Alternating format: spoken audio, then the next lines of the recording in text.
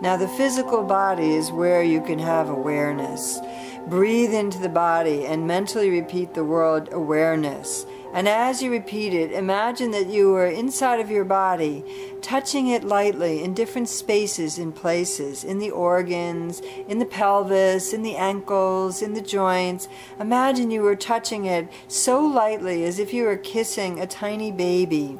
When you place a kiss on a tiny newborn's cheek, you do it with such delicacy. Move throughout your body with awareness, internally, inside of it, and touch the joints, touch the organs, touch the bowels, touch the digestive system. Touch it with that lightness, that angelic awareness. Awareness of the body, awareness of its systems.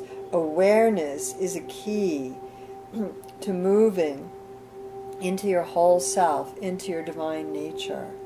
You must have awareness to accept the divine fully, to become the divine on your earth, in your body, in your everyday living.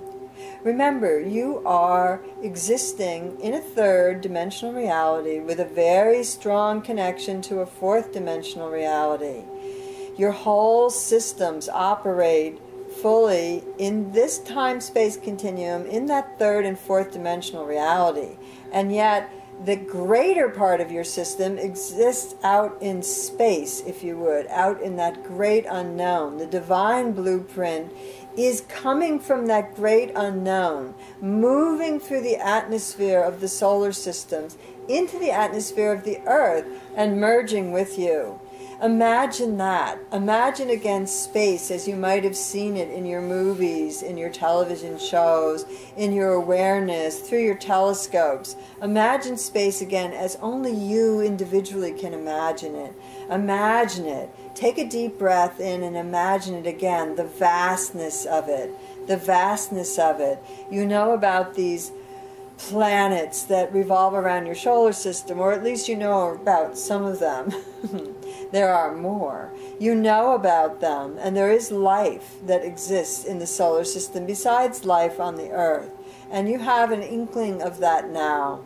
You embrace it, your scientists do. Your imaginary selves, your individual selves, your intuitive selves, understand that there are great many beings out there existing in different realities than yours. And so be aware of that now. And be aware again of your body. So tiny it seems when you think of it in the vastness of space. So tiny it seems to be able to hold the vastness of what you are.